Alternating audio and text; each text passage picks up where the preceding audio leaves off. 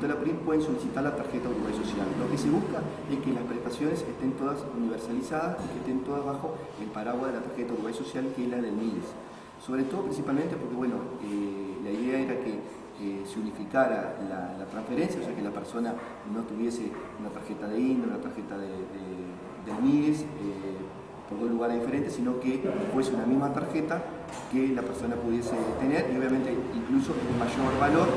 y también incorpora lo que es el índice de carencia crítica, es decir, ahora una persona que eh, solicita la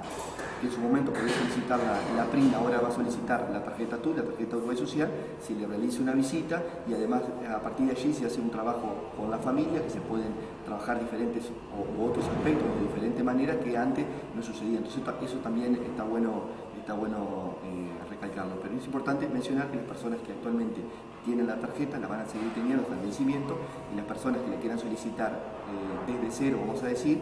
lo que van a poder hacer hoy con el sistema que tenemos es solicitar la tarjeta Uruguay Social. O sea, eso está, ese relevamiento está en marcha, como decía. Es difícil estimar hoy si va a tener alguna modificación en cuanto a atenciones. Sí, sí, sí, la, eh, en realidad, a usuarios, sí, en realidad eh,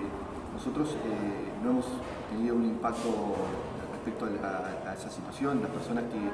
que, antes acudían a, la Intendencia para, solicitar tanto el APAE o la PRI, han llegado a, ahora a las oficinas de MIDES, se realiza el mismo trámite, lo que sucede obviamente ahora se realiza una visita por los equipos sociales, se utiliza el índice de carencia crítica que fue realizado por la Universidad de la República, que allí obviamente se toman en cuenta desde los ingresos hasta la situación